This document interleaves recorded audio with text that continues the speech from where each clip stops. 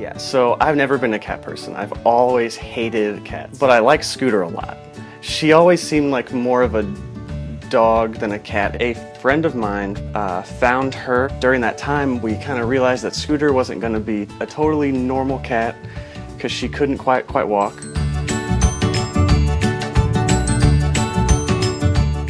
They do kind of move, so there's some connection there still. And then she even knows that it's time to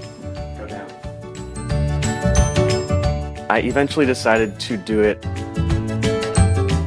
It really just kind of took off.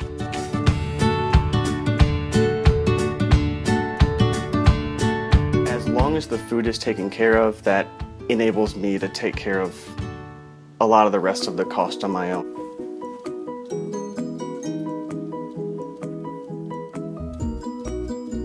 I do feel like there's a small amount of compassion that is required to look at a creature, a person, or an animal and say that it's deserving of a quality life. I, I feel like Scooter's a good like test of compassion.